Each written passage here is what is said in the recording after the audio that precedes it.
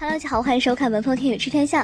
种植物下竟然长钻石，我们找到它就能够找到钻石。网友表示碰到就发财了。种植物叫做露兜树科，据了解这，种植物的生长环境非常特殊，只长在含有金伯利岩的土壤里面。金伯利岩其实只是一种火山岩，而且是宝石含量非常丰富的矿石山脉。种植物起初并没有被人们发现，后来一位专家在利比里亚的灌木丛中发现了它。这位专家使用的仪器检测，除了这种植物含有大量的矿物元素，所以他还进行了猜测，在这种植物的下面可能有金伯利岩。为了证实自己的想法，专家在这里勘察了一年的时间，最终真的找到了金伯利岩的一条矿脉。最重要的是，他还发现了这种植物只生长在钻石上面，在其他环境下根本无法生长。很多网友表示，碰到这种植物的话就发财了。虽然很多人看到觉得难以置信，但是像这样的例子还有很多。一般来说，只要看到这种植物，它的下面就可能有钻石，而且这种植物也被称之为钻石定位器。因为专家通过这一种植物发现了金伯利岩矿，随着探索就在矿山上发现了四颗钻石。在以前，人们通过正常的方式寻找钻石的时候，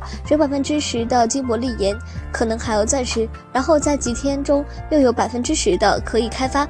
所以，单纯的寻找金伯利岩石的话，相当于只有百分之一的几率能够发现钻石。然而，通过这种植物，使得钻石更容易发现，并采起来也相当对其他的方式简单。好了，本。